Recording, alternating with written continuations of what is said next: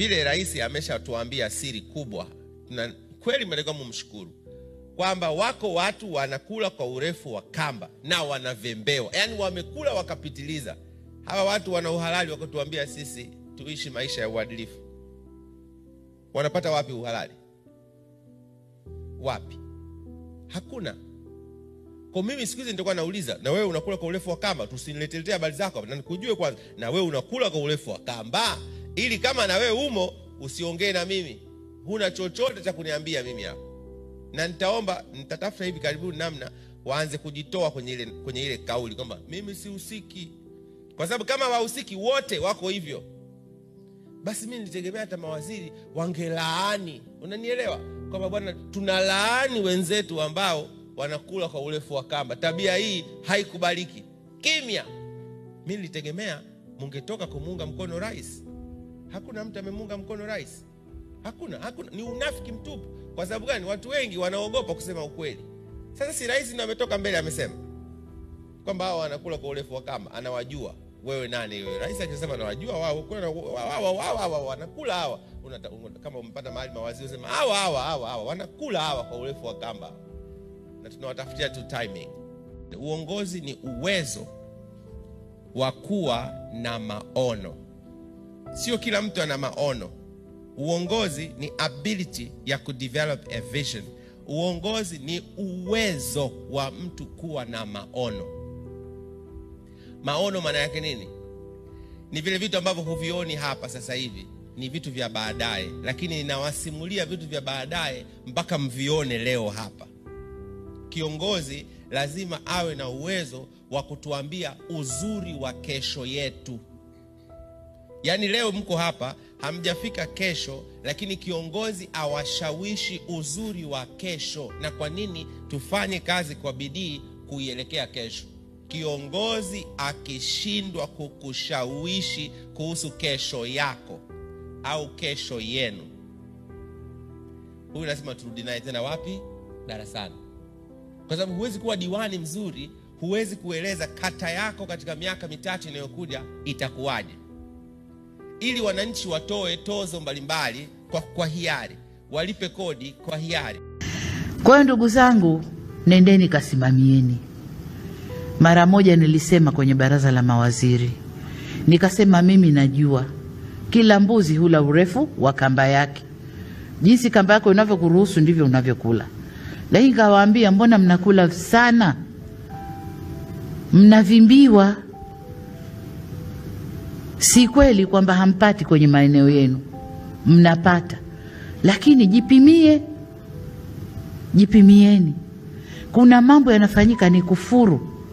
Kwa mfano lile nilolisema la ujenzi wa meli, meli moja, kuna kijiajenti huko pembeni kinalipwa milioni mbili dola kwa kila, kwa kila meli. Hiyo ni nini? Hiyo sio sawa, sio sawa. Sijui kuna ujenzi wa barabara, pesa itagaiwa kwanza, we.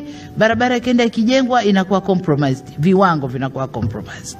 ukijitambua wewe ni nani na umuhimu wako na uwezo wako na unaongeza na mchango wako kwenye kusudi la mungu hapa duniani.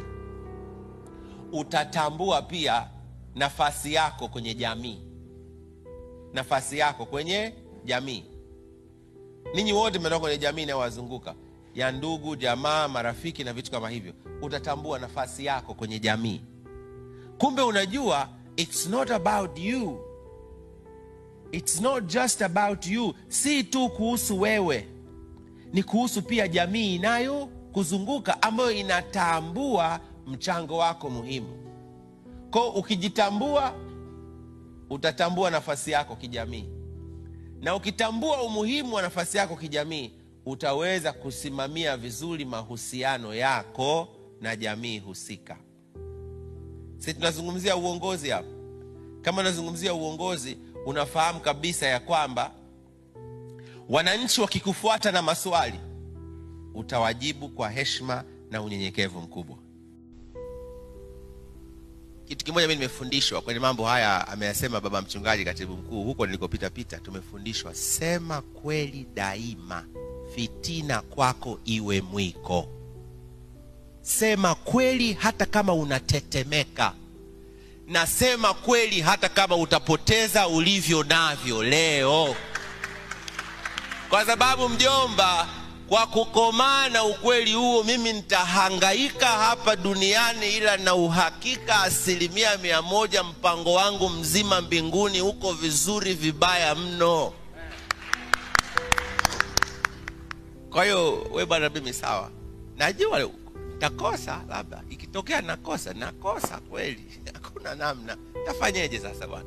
Sasa wewe vitu vya, vya duniani nipambane nikose.